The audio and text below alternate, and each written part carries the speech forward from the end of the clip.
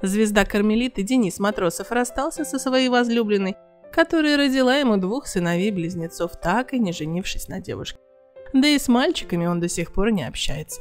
Их усыновил брат скандально известного актера Никиты Джигурды Сергей, в браке с которым Людмила Татарина счастлива по сей день. Похожи ребята на папу или нет?